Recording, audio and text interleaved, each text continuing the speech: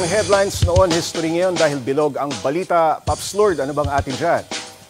Mga pap, punong-puno ngayon ng pagdiriwang ang mga kalye ng Beijing dahil isang daang taon na ang Chinese Communist Party.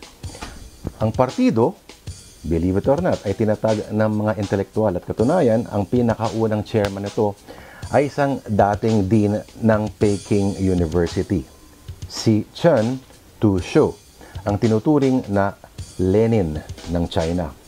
Pero mga paps mula sa 13 ay dalawa na lang ang matitira para magisan ang pagpapasinaya ng People's Republic of China noong 1949. At isa doon ay si Mao Zedong, ang naging chairman ng partido at ganap na pinuno ng malaking bansa hanggang sa kanyang kamatayan noong 1976.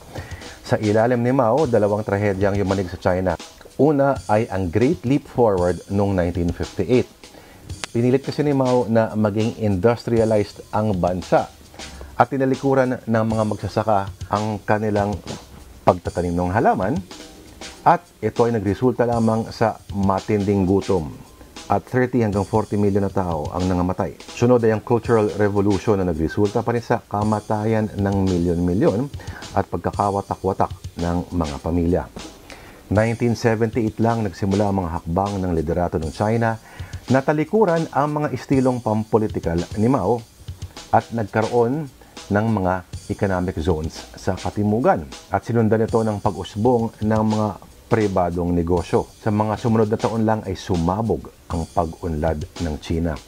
Lalo na nung pinayagan ang pagsapi sa Partido Komunista ng mga mayayamang negosyante. Kanina mga paps, sa pagdiriwa ng sentenaryo ay napuno ng makulay na selebrasyon ang Tiananmen Square, ang pinangyarihan ng magugong masaker noong 1989. Ngayon mga paps, ang bahay kung saan itinatag ang partido sa Shanghai noong 1921 ay nasa isang sosyal na distrito na at pinapalibutan ng mga mamahaling shops at mga sosi na restaurant.